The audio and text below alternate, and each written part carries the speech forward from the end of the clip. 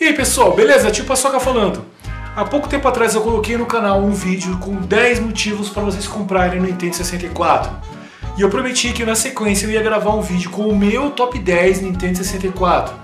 Esse cara aqui, ó, tá do meu lado, lindo. Eu tenho uma espécie de uma paixonite pelo Nintendo 64. É um dos meus consoles preferidos, é um dos, é um dos videogames que eu mais jogo. É... Chega a ser injusto eu comparar ele com outros aparelhos que eu tenho, porque realmente eu jogo ele assim ao ponto de eu não entender como ele não pifou ainda. O aparelho realmente é muito resistente para não ter pifado na minha mão. E eu vou dar para vocês uma lista com a minha opinião, minha, minha, tá? Com os 10 melhores jogos desse cara bonitão aqui, beleza? Mace, The Dark Age. Nos anos 2000 tinha bastante fliperama de jogos de luta em 3D, luta medieval. Tinha um que eu gostava muito chamado Soul Edge. Eu não sei se Soul Edge é uma versão diferente do Soul Calibur, mas eu sei que eu gostava do Soul Edge. O Soul Calibur eu fui conhecer um pouco tempo depois de uma outra versão. Bom, eu gostava muito do, do, do Soul Edge e eu queria jogar alguma coisa parecida para videogames. E eis que eu conheço esse cara aqui, Mace the Dark Age. Esse jogo para mim, ele é o melhor jogo de luta do Nintendo 64. É, ele é feito pela produtora que faz o Mortal Kombat. Tem fatality, tem violência, tem sangue. Os personagens na tela eles não são grandes, eles são tão grandes que alguns, inclusive, eles chegam a bater na ponta da tela, da, tela da televisão, de tão grandes que eles são. É um jogo muito divertido, muito difícil, eu nunca zerei, tá? Nunca zerei. Preciso pegar um dia, sentar e insistir e tentar zerar esse cara aqui. É um jogo muito divertido, muito difícil, muito legal de jogar e como o Nintendo 64 é muito capado para jogo de luta, esse aqui para mim é o melhor jogo de luta dele. Poderia ter uma Street Fighter para o Nintendo 64? Sim, poderia, mas não teve. Poderia ter uma The King? Sim, mas não teve. Vamos jogar o que a gente tem. E dos que a gente tem, esse aqui para mim é o mais divertido, é o mais da hora. Tio Paçoca não gosta de futebol. Tem um vídeo meu aqui no canal chamado Detesto Futebol. Se vocês assistirem o vídeo, vocês vão entender o tanto que eu não gosto de futebol. Mas tem um jogo ou outro de futebol que eu gosto. E no Nintendo 64 teve esse cara aqui. Esse jogo aqui, ele é um dos jogos de futebol que eu gostei ao ponto de desejar comprar. O International do Super Nintendo eu desejei ao ponto de comprar. Eu tenho hoje. Eu tenho o International Superstar Soccer e também tem aquela versão é, piratinha que fala Forte Bomba. Eu tenho também. É, e a versão do 64, eu joguei tanto isso aqui com os meus amigos na, na, na época de locadora que eu desejei comprar esse cartucho. E hoje eu tenho esse jogo aqui. Ele é, sem dúvida nenhuma, um dos futebol que eu mais gosto de jogar, um dos meus futebol preferido. E no Nintendo 64, para mim, é o melhor futebol que tem. Eu tenho outros, tá? Tem outros joguinhos de futebol. Mas de todos, não só do 64, mas de todos os aparelhos que eu tenho, esse aqui para mim é o mais divertido que eu tenho hoje, tá? Amo demais esse jogo aqui. Ah, e tem um Alejo, viu? Tem um Alejo aqui. O Alejo aqui ele parece o Ronaldinho, ele tá careca. 007 GoldenEye. É, o modo solo desse jogo eu gosto, mas eu não gosto tanto quanto eu, eu gosto do, do modo de batalha dele. Jogar de multiplayer, tá? Aquela galera, quatro pessoas jogando. Isso aqui para mim é uma diversão assim surreal. É uma coisa de outro mundo jogar esse aqui de galera. Esse jogo para mim é um jogo obrigatório para qualquer pessoa que gosta do Nintendo 64, mesmo que a pessoa não goste de jogos de tiro. Eu não sou muito fã de jogos de tiro, são poucos que eu gosto. Jogos de, de FPS, então, são pouquíssimos. Mas mesmo assim, alguns eu gosto. E esse aqui é um dos que eu mais gosto. Super Mario RPG e a Lenda das Sete Estrelas. Hã? É. Isso é Super Nintendo. É. Mas a lista de 64, burro. É. Esse aqui pra mim é um dos melhores RPGs que já foram feitos em todos os tempos. É um dos jogos de RPG que eu mais me divirto jogando. Só que esse aqui é de Super Nintendo, tô brincando com vocês, tá bom? Então, no caso, é esse cara aqui, ó, o Mario de papel. É uma continuação do Mario RPG de Super Nintendo. É, não foi feito pela Square, foi feito por uma produtora chamada Intelligent Systems. não tem a mesma qualidade do primeiro, tá? É fato. Se você tá numa situação de escolher um dos dois para comprar, vai no do Super Nintendo. Sempre. Mas o do 64 é muito legal também. Por mais que ele não, não bata do Super Nintendo, mas ainda assim ele é muito legal. É um jogo que eu fui conhecer muito tempo depois do Nintendo 64. É um jogo que eu conheci através dos emuladores. E aí eu fui me apaixonei pelo jogo. E hoje eu tenho. É, ele segue uma linha de raciocínio bem parecida mesmo com a do, do Mario RPG de Super Nintendo. Tem aquele lance das estrelinhas tal. O jogo é um RPG linear, batalha por turnos, aquela coisa bem RPG raiz mesmo. Eu gosto de RPG de raiz, gosto de RPG assim. Esses RPGs que tem uma, uma pegada mais assim, puxando para aventura, é um ou outro que eu gosto, que eu gosto muito mais assim, por turnos. E esse aqui é um dos meus jogos preferidos do Nintendo 64. Zerei? Ainda não, mas estou quase zerando. Quem acompanha o canal sabe o tanto que eu gosto de joguinho de corrida. E esse aqui para mim, F1 World Grand Prix, ele é simplesmente o melhor jogo de Fórmula 1 que tem pro Nintendo 64. Minto. O F1 World Grand Prix 2 chega a ser melhor do que esse. Eu ainda vou comprar o 2. Esse aqui, ele é maravilhoso, maravilhoso, sensacional. O 2 ele tem algumas melhorias gráficas, algumas melhorias de áudio e ele também é mais atualizado com relação à temporada de Fórmula 1. Então por essa razão eu considero que ele é melhor que esse. Porém esse aqui é o raizão, entendeu? Esse, o outro é só uma atualização desse, esse aqui que é o raizão, esse aqui é a base. Esse aqui pra mim é um dos melhores jogos de Fórmula 1 que eu joguei na minha vida inteira.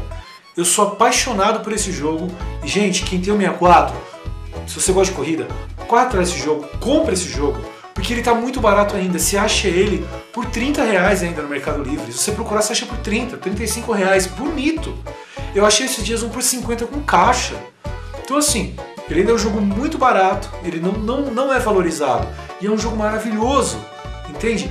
E o 64 tem muitos jogos de Fórmula 1, mas são muitos, dá para encher a mão, as duas mãos inclusive, de jogos de Fórmula 1. E aos poucos eu vou comprar todas, com certeza. E com certeza a que eu vou jogar mais, sempre, vai ser essa aqui. Mesmo tendo a F1 World Grand Prix 2, essa aqui ainda vai ser a que eu vou mais jogar. Esse aqui eu não tenho para mostrar para vocês, Rally Challenge 2000. Esse jogo me impressionou muito pela qualidade de imagem dele.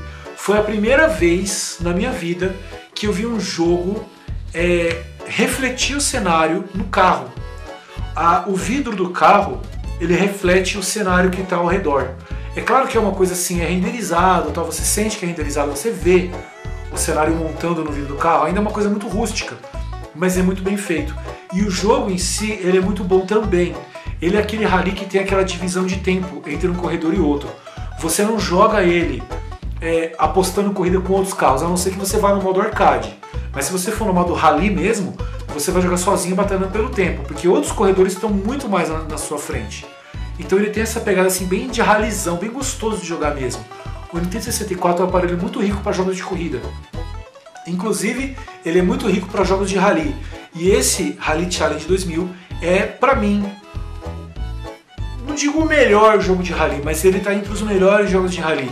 E eu, como eu não tenho cartucho, eu jogo muito no emulador, eu posso dizer para vocês que ele está meu, na minha lista de jogos preferidos do Nintendo 64.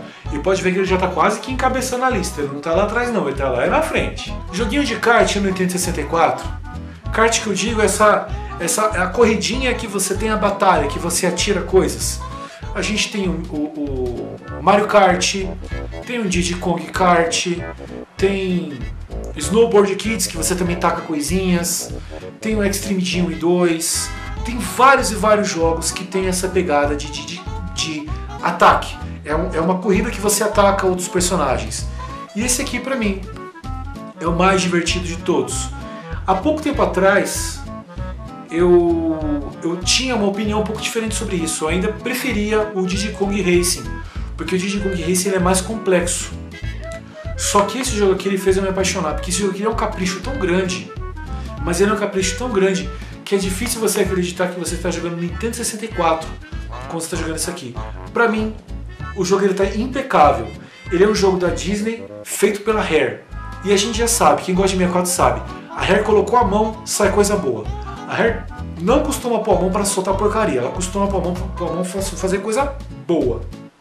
E foi o que ela fez aqui. Gráfico impecável, som impecável, desafio muito bom, muitos modos de jogo, um jogo realmente muito grande para você jogar, personagens desbloqueáveis. Ó, jogo nota mil, tá? Esse aqui eu recomendo a qualquer um de vocês a comprarem. E ele tá entre os meus melhores. Entre. E ele está entre os meus jogos preferidos do Nintendo 64. Mais um jogo que eu não tenho para mostrar aqui para vocês. F0X, o F0 do Nintendo 64. É, eu tive esse cartucho nos anos 2000 em um dos meus Nintendo 64. Eu já tive vários, muito rolo que eu fiz, já passou um monte pela minha mão. Em uma dessas passou um cartucho desse pela minha mão. E eu joguei isso aqui ao ponto de desbloquear todos os personagens. Todos. Eu jogava ao ponto de. da agonia, de tanto que eu jogava. Eu não sei como que minha mão não, não zoava o dedo, de tanto que eu jogava isso aqui. Jogo de corrida que desafiou o próprio hardware do 64 o jogo coloca tipo 30 carros na pista, não sei se são mais, são de 30 para cima, uma coisa assim, tá? Coloca são 30 naves na pista e o jogo roda 60 frames, assim ó, cravado, cravado, cravado. E não usa expansão de memória não, meu nego. Era raça. Ele faz na raça. Então você imagina, jogo muito bom, rápido pra caramba, uma porrada de carro na pista, gráfico muito bonito pra geração dele, rodando a 60 FPS. Esse jogo para mim, ele é um dos jogos perfeitos do Nintendo 64. Mas corridinha, né? Quem me conhece sabe o tanto que eu gosto de corridinha. Cruising World. Eu joguei muito esse jogo no fliperama, não só o World, eu joguei o USA também. Só que o USA pro 64, ele teve um problema na hora de portar. Porque teve pistas, principalmente aquela pista da floresta, que o frame do jogo cai muito, ao ponto de você quase não conseguir jogar. Você consegue, dá pra zerar o jogo, claro. Mas você chega ao ponto de quase você não conseguir zerar. E esse aqui não, ele roda liso, liso, liso, uma delícia de você jogar. Ele chegou a superar a versão do arcade para mim, porque além de ter a versão do Cruising World, ele tem uma versão de campeonato aqui. E ele tem uma porrada, mas eu disse uma porrada de carro desbloqueável. A maior parte deles você vai desbloquear fazendo time attack. E esses carros que são desbloqueáveis, eles são carros divertidos para você jogar. Eles, cada carro tem uma pegada diferente. Não é que todo carro tem um certo equilíbrio, não cada carro tem um jeito diferente. Por exemplo, se você vai jogar com um caminhão, né, que tem um caminhãozão lá, você vai sofrer para ganhar. Porque por mais que ele, ele, ele, faça a curva até que bem, ele não corre, então você sofre. E os carros que você vai liberar aqui, eles são muito divertidos. Primeiro lugar, eu não preciso nem falar nada, é a coisa mais clichê do mundo, que acompanha o canal já sabe, é esse cara aqui, que para mim é o melhor jogo de aventura que já fizeram de todos os videogames do mundo até hoje. O melhor jogo de aventura é esse aqui tá? Esse aqui para mim é um regaço de jogo, mas é um rebento de jogo. Ele, ele transmite o que hoje é uma coisa até normal, tá? Mas nessa época não era. Ele é o primeiro jogo que eu vi na minha vida que ele te transmite uma sensação de filme. É como se você estivesse assistindo um filme, porém você está com o controle na mão. Você joga, e você curte cada cena do filme. E ele tem muita referência de muitos filmes aqui. É muito divertido, mas muito divertido. Hoje, jogos que parecem um filme é só o que tem. Só que tem uma pequena diferença. Tem um tem uma pulo do gato aí. Esse aqui você joga muito. E os outros você basicamente assiste. Quando muito vagamente você aperta um botãozinho do controle, né?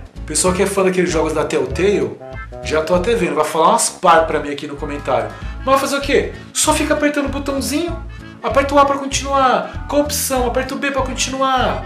Esse foi meu top 10, mas vai ter um pouquinho de menção honrosa aqui. Alguns jogos que merecem sim estar nessa lista, mas por alguma razão não estão. Mario 64, amo demais esse jogo, porém tem uma coisinha aqui. Ele foi superado pelo Banjo, e consequentemente o Banjo foi superado pelo Conquers. Então seria injusto ele estar aqui nessa lista, principalmente encabeçando a lista, né? Mas ainda assim é um jogo maravilhoso, um jogo sensacional. Respeito demais esse jogo. Stars. Eu chamava de Stars. Stars Racing. É um dos meus jogos preferidos, não está no top 10. Deveria até estar, ele merece estar. Mas ele não está no meu top 10. É, o jogo é muito fiel graficamente falando, ele é muito fiel ao, ao filme, ele tem uma pegada assim bem do filme mesmo. Ele tem uma velocidade, ele tem uma, uma coisa assim insana que ele carrega que você não vê em outros jogos do 64. Para falar que não, um outro jogo do 64 que é tão insano quanto ele é o F0X. Só que o F0X já está na lista. Que o F0X chega a ser mais insano do que esse aqui. Só que ainda assim, isso aqui é um puta jogo maravilhoso. MRC, rolou uma gameplay dele no canal até zerar. Eu gosto demais desse jogo, sou fã dele, recomendo a qualquer um de vocês a comprar. Porém, tem um problema, o jogo é muito pequenininho. Três pistas que vão ficar variando. Ah, joga na chuvinha, joga na noite, joga no sol, joga na neblina. Ah, libera tal carrinho jogando nas três pistinhas e tal. É um jogo muito legal, porém é um jogo muito curto, então eu acho que ele não merece estar na lista. Porém, eu gosto demais de jogo. Esse aqui, Top Gear Overdrive, ele é, sem dúvida nenhuma, tá pessoal? Sem dúvida nenhuma, ele é o jogo do Nintendo 64 que eu mais jogo. Só que eu tô numa, numa, numa vibe agora que de tanto jogar ele, eu tô quase que enjoando dele. Então por essa razão eu acho que ele não merece estar na lista, porque eu já tô meio que enjoando dele já. Mas eu amo demais esse jogo, de paixão. Eu antes zerava esse jogo, tipo assim, dava dois dias eu zerava ele. Dava mais dois dias eu pegava ele e zerava de novo. Aí depois com o tempo começava a zerar ele uma vez por semana. Agora eu zero ele mais ou menos umas duas ou três vezes por mês, eu pego e sento ele pra, jogar e pra zerar. É um jogo bem curtinho também, não tanto quanto o MRC que eu falei anteriormente, mas é um jogo bem curtinho, dá pra pegar é, é, no início da tarde e até de noite já zerou. Ele merecia estar na lista, sim, ele é um dos meus jogos preferidos. Mas como eu já estou enjoando dele, então eu, eu não dei essa, essa moral toda para ele não. E por último, mas não menos importante, o Zelda Ocarina of Time. É, esse jogo merecia sim estar na lista, porém é injusto da minha parte colocar ele na lista, sendo que é um jogo que eu joguei muito pouco. Eu nunca zerei esse Zelda e eu comprei ele com, com, com esse 64 aqui. Comprei ele junto com esse 64 e ele é um dos meus jogos que eu menos joguei. Eu, che eu chego ao ponto de eu falar aqui pra vocês que eu não sei se eu fiz 10% do jogo.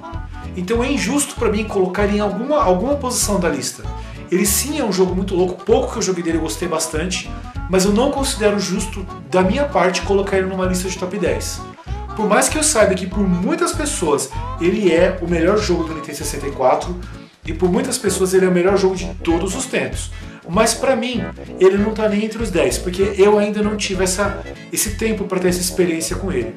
Mas logo logo eu vou dar essa chancezinha para ele, não, tem, não esquenta a cabeça não. Então esse vídeo vai ficando por aqui. Agradeço a todos vocês que assistiram e coloque aqui nos comentários o seu top 10, tá bom? Porque a sua opinião é muito importante para nós. Parece uma telemarketing, né, mano? É, é isso aí. Tchau, tchau, pessoal!